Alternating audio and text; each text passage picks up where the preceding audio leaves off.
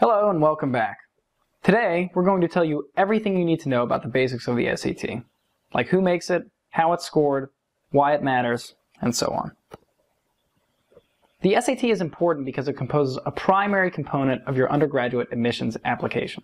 In addition to your GPA, your extracurricular activities, and your personal statement essay, college application offices will also see your SAT score when considering your application, and to varying degrees, will consider them a significant part of your application. For larger state schools, your SAT score composes about 40% of the criteria for admission, whereas for smaller liberal arts colleges, it can come closer to 25%, so, while other parts of your application, like extracurricular activities, uh, sports, etc., become relatively more significant. So all, all told, the SAT composes about 25 to 40% of your criteria. Your GPA and curricula make up about 30 to 50%, and personal statement essays and recommendations make up the rest. The SAT is offered six times per year, but students should generally plan on taking the test once in the spring of their junior year, and then if they would like to try again, once more in the fall of their senior year. You should not plan on taking the test more than three times, and even that is pushing it a little bit in my opinion. The SAT claims to test your reading, writing, and mathematics skills. But actually, although it appears to test a wide range of material, it only tests a fraction of what you're expected to know in high school. More than anything else, the SAT tests your ability to take the SAT. Although the test makers would like, would like you to think that it tests your ability to do well in school, it is actually far more specialized than they would like to admit. Taking the SAT lasts a total of 3 hours and 45 minutes. With breaks, setup time, and other minor, minor issues factored in, you can expect the entire experience to last about four and a half hours. There are three critical reading sections on the test, two of which are 25 minutes long, and one which is 20 minutes long.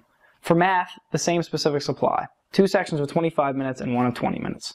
And for writing, you will see one essay section that's 25 minutes long, one multiple choice section that's 25 minutes long, and then another multiple choice section that's 20 minutes long. In addition to those, there will be one experimental section on the test that could fall into any one of the three categories, which will be approximately 25 minutes long. The SAT is scored on a 2400 point scale, with each subject having a score between 200 and 800 points.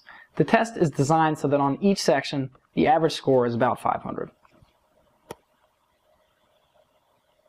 A long time ago, the SAT used to stand for Scholastic Aptitude Test, and then it stood for Scholastic Assessment Test, but nowadays it doesn't stand for anything. This is because it only really tests students' ability to take the test itself. So since it's not actually a measure of aptitude or scholastic ability, it has been changed to just stand for the SAT. To make significant score improvements, you must sharpen your test-taking skills, learn how to think like the test makers, and approach your lectures and homework with hard work and regular practice. The SAT, the SAT is a unique test and requires a unique set of skills to master. Knowing how to manage your time, solve problems the right way, and use the process of elimination to, co to conquer multiple choice problems will make a huge difference in your ability to crack the SAT's code. Knowing how much time to spend on each problem will greatly enhance your ability to dominate the test. Unlike regular high school, easy questions on the SAT are worth the same number of points as hard ones, which means it is greatly to your advantage to do as many of the easiest questions for, before even beginning to attempt those that are more difficult for you. And try to, try to refrain from spending too much time on questions that are tough for you. The number of easier questions that you might be able to do in the same time is likely much, much higher. And unlike regular high school, no partial credit is given on the SAT. This means that all you need to be focused on is getting the right answer. No one cares how you get it, or even if you really know anything about the concepts at hand. All you need to be able to do on any problem is get the right answer. And on multiple choice questions, knowing what answer choices are wrong is almost worth as much as knowing which one is right. Using the process of elimination to solve multiple choice questions is a vital part of mastering the SAT. Almost all of the questions on the SAT are multiple choice, with the exception of the grid-in questions in the essay. The SAT is not school, so forget what you know about traditional problem-solving techniques. On the SAT, we can use a variety of tricks and statistical tools to improve our chances of getting a higher score. Did you know that if you can eliminate even a single answer from the options that your odds of benefiting by guessing are in your favor? This is because incorrect answers on the SAT are worth negative one quarter point. Correct answers are worth one point and blanks are awarded zero points. This means that on any question where you're able to, where you're certain that even a single answer choice is incorrect, you should guess. This might sound a little bit crazy to you, but it works. On the SAT, if you're able to eliminate exactly one answer choice from each question and then simply randomly guess, then on average you would perform several hundred points better than a student who simply left blanks. Let's look at a quick example here. Okay, so the, the question we see here is, Thimphu is the capital of blank. Uh, Thimphu is a city that I have never heard of in my entire life. And when I start to look at the answer choices here, I know what the first one is, but I have no idea what the capital of Andorra, Turkmenistan, Bhutan, or Estonia are. So uh, all that I can do here, I'm pretty sure that the capital of the United States of America is Washington, D.C. So you know what? I can cross that one out. Now I'm left with B, C, D, and E, which are all countries I've pretty much never heard of. So I'm just, at this point, on the SAT, the best strategy, strategy to use here, guess and move on. Don't waste your time try, trying to figure out the best answer if you don't have any information. Just have faith in the uh, laws of probability, take a good shot at and keep going. So let's keep going. So who makes the test? The Educational Testing Service, otherwise known as ETS, has administered the test since 1901. But a good question would be, why is this even important to us?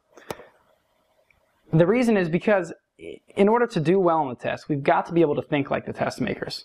If we can read the minds of ETS, we will know exactly how they're trying to trick us. Let's look at a fictional example to see what I mean here. Um, choose the correct answer in the following sentence. Tyler Lautner slash Megan Fox, choose whichever heartthrob you find more appealing, dances blank than Carrot Top. So our options here are A, way hotter, B, more lamely, C, much sexier, D, more attractive, or E, more handsome. And despite what we know about the comparable appeal of Megan Fox or Tyler Lautner versus Carrot Top, the grammatically, the grammatically correct answer choice here is actually B, more lamely. Um, even though this, this answer choice is the most unlikely one that students would choose. The word in the blank modifies a verb, therefore it must be an adverb. And unfortunately for Tyler and Megan, the only answer choice with an, with an adverb here is B. By appealing to your worst instincts and writing a question that makes you want to choose the wrong answer, ETS can increase the number of students missing a question. So, how can we combat this despicable technique? By being aware of our worst instincts. As long as you don't fall for their tricks, all you have to do is answer a bunch of silly questions about grammar rules and triangles, right?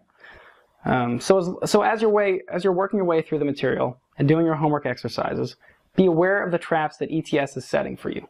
We'll be using many of the same traps and exercises and or traps and tricks that ETS uses in our own exercises to prepare, to prepare you for the test, so keep an eye out. Another key point about SAT problems. Despite their overwhelmingly complex appearance, all the problems on the SAT may be solved in a simple and elegant way.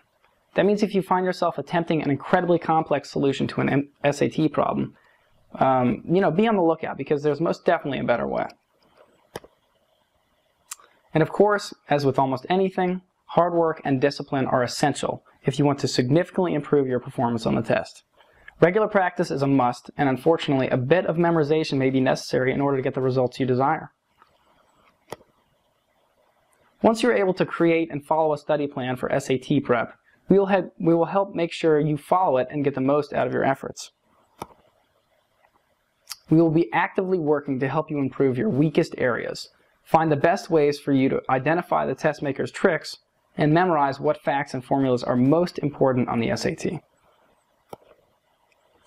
But of course, while this software represents an incredibly powerful method of helping you prepare for the SAT, there are certain things that it cannot do.